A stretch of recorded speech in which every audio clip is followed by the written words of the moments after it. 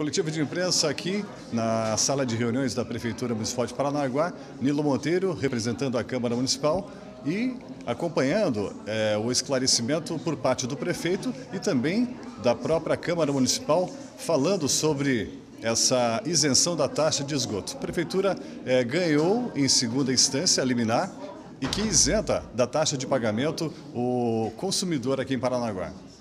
Isso mesmo, essa coletiva de imprensa tem suma importância para a população em geral. Por que essa importância é no coeficiente final? A importância é o quê?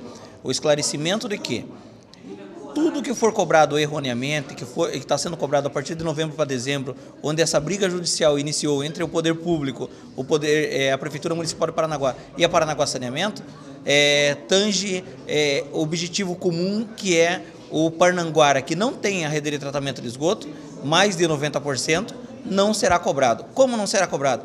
Você, Parnanguara, que está recebendo a sua, a, a, o seu talão e consta ali a taxa de esgoto, e você tem certeza que essa taxa de esgoto não está sendo, não, não é devida, Precisa o quê? Como disse essa coletiva de imprensa? Precisa ir lá na ouvidoria da Cagepar. Essa ouvidoria da Cagepar está preparada das 9 às 18 horas para receber a sua reclamação. Montar o número do protocolo, o número de reclamação. Esse processo irá ser aberto para defender você, o cidadão. Então a coletiva foi esclarecedora, buscando é, o que nós queremos saber. Queremos saber o quê? Que cesse a cobrança enquanto não existir o tratamento. Então ficou muito claro aqui e mais uma vez lembrando, rede social, a gente não consegue protocolar, não consegue abrir o processo, não consegue ser ressarcido. A gente precisa ir na ouvidoria da Cagepar. E só na ouvidoria que a gente vai poder é, levantar problema a problema para que a população, no final, seja agraciada com a sua isenção. Primeiramente, eu quero agradecer ao portal no Nosso Paraná, eh, estar participando dessa coletiva de imprensa, vocês que fazem um trabalho é excelente é, na imprensa local e nós é, convocamos essa coletiva para passar para vocês e vocês divulgarem assim para a população de Paranaguá o que realmente está acontecendo com relação à taxa de esgoto.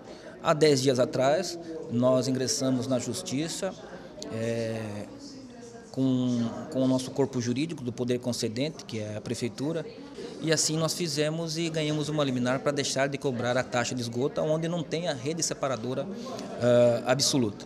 Nós abrimos o diálogo com a empresa antes de tomar essa decisão e assim conseguimos suspender a cobrança na Ilha dos Valadares, mas eles entenderam que no resto da cidade não. E aí não houve mais é, o diálogo, eles entenderam que essa era, era, era a situação final e nós ingressamos na, na justiça pra, para que no resto da cidade deixasse de cobrar é, a taxa de esgoto. Conseguimos em primeira instância e, logicamente, eles agravaram é, no Tribunal de Justiça para suspender essa decisão de primeira instância. E ontem, é, a nossa felicidade é que o, o, tribunal, o desembargador, manteve a decisão da primeira instância, então está valendo, está valendo em mais de 90% da cidade de Paranaguá é, deixar de cobrar a taxa de esgoto e, e assim é, eu quero parabenizar o nosso corpo jurídico, a agência reguladora da Cagepar, com uma equipe agora muito boa, fazendo a fiscalização, cumprindo o que diz no contrato. É, então é o trabalho nosso, um trabalho é, que nós é, estamos fazendo desde o início da, da, nossa gestão. Eu sei que críticas vieram, mas ninguém sabe no dia a dia o que nós estamos fazendo, a atitude que nós estamos tomando. E a resposta é para o povo de Paranaguá, não é para essa meia dúzia de pessoas aí que tentam a todo momento é, denigrir a imagem é, da nossa gestão. Eu, eu, sempre falo, qual a gestão? Qual a gestão que teve a coragem é, de entrar contra essa empresa que está aí fazendo um péssimo serviço para a população de, para a população de Paranaguá. Quando nós firmamos o aditivo, o aditivo com, essa, com esse novo grupo, nós não deixamos de, de, de deixar assim de cobrar aquilo que eles deixaram de fazer para o município e assim nós vamos fazer até o final é, da, nossa, da nossa gestão.